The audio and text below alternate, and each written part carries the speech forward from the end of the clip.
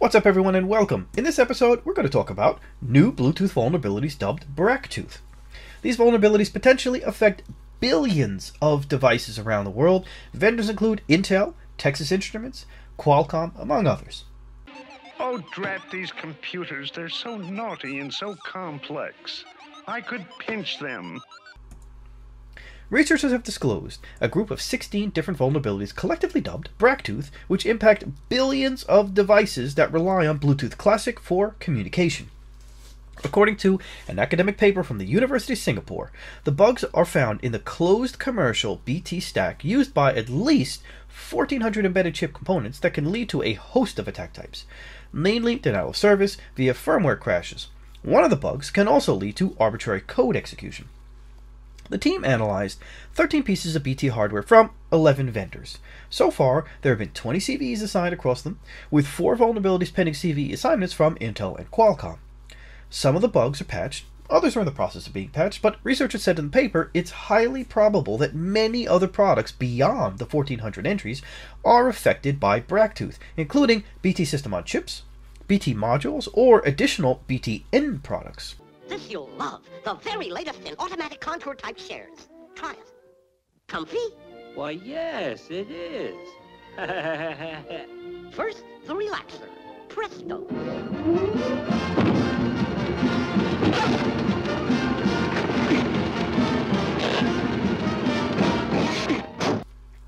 Potentially billions of devices around the world are affected or could be affected. And that is just insane.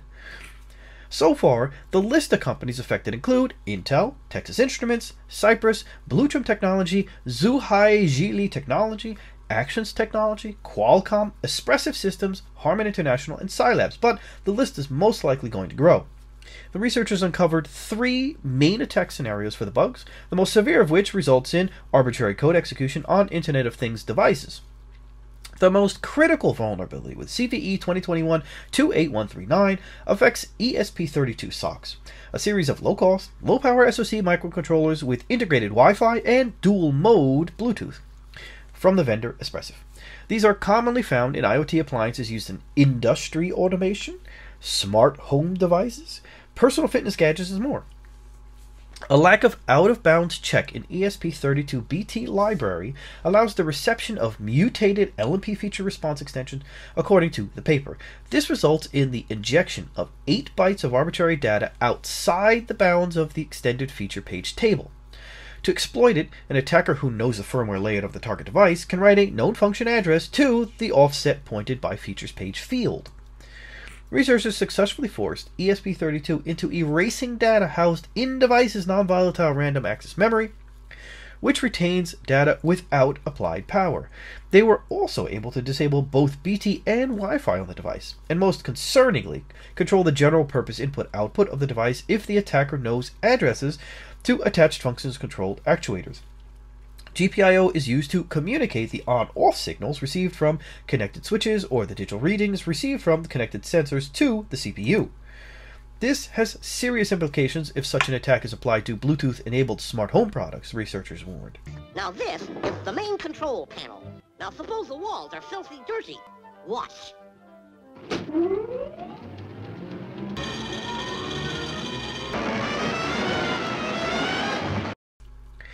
The second attack scenario can lead to denial of service in laptops and smartphones. Researchers were able to achieve this using gear containing Intel AX200 SoCs and Qualcomm WCN3990 SoCs.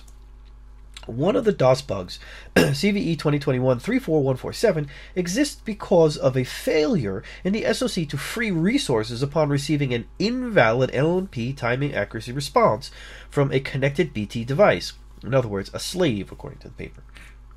The attacker can exhaust the SoC by paging, sending the malformed packet, and disconnecting without sending LMP detach, researchers wrote. These steps are repeated with a different BT address until the SoC is exhausted from accepting new connections. On exhaustion, the SoC fails to recover itself and disrupts current act- active connections, triggering firmware crashes sporadically. The researchers were able to forcibly disconnect slave BT uh, devices from Windows and Linux laptops and cause BT headset disruptions in Pocophone F1 and Oppo Reno 5G smartphones. I think I'll push this wet one. No, no, no, no, no, not the wet one. Don't ever push the wet one. Well, I'll push this one then. Another denial of service bug uh, the CVE is pending affects only devices using the Intel AC200 SoC. It's triggered when an oversized LMP timing accuracy request, uh, uh, larger than 17 bytes, is sent to an AX200 slave. This temporarily corrupts AX200 firmware, which responds incorrectly during a subsequent BT connection and eventually disables the paging scan procedure. Researchers explained. Thus, scanning AC2, uh, AX200 works, but no connection is established from an external BT uh, device.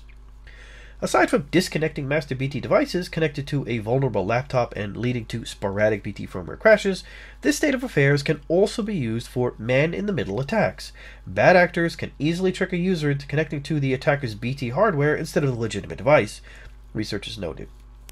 With persistence.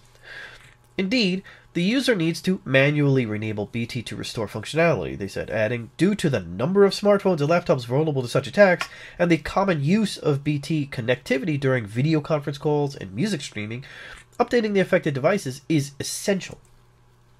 A third attack scenario was discovered while probing various BT speakers, specifically the My Portable Bluetooth speaker, MDC 36DB, BT headphone, and BT audio modules, and an unbranded BT audio receiver all are variously subject subject to a series of bugs. CV 2021-31609 and CV 2021-31612 failures when sending oversized LMP packets. CVE 2021 uh, 31613 truncated packets. CV 21 2021 31611 starting procedures out of order. And CVE 2021 28135 CVE 2021 uh, 28155 and CVE 2021 31717, which is feature response flooding. Successful exploits can freeze devices, requiring the user to manually turn on unresponsive devices afterwards. For the Xiaomi MDZ36DBS uh, and JBL Tune 500 BTS, this can be done while the user is actively playing music, researchers noted. Although issues were found in SoCs targeted uh, to audio products, the BT implementation can be reused in a number of SoCs destined to uh, different BT products. So it's not these these these vulnerabilities that they tested on the audio products are not limited to only audio products. They could be used in other uh, product. These are just a few exploit scenarios. The researchers have released a BrakTooth proof of concept tool for vendors producing BT SoCs, modules, and products available for them to use to check their gear's vulnerability. Bluetooth vulnerabilities are particularly concerning given the vast pr- footprint that they uh, can impact, and unfortunately, they are not that uncommon. So, again, billions of devices around the world can be infected uh, with denial of service, and arbitrary code execution attacks through uh, these vulnerabilities that were listed within this article. With that, thanks for watching. Don't forget to share and subscribe if you haven't, and smash the bell if you haven't, and I will see you on the next episode. Take care.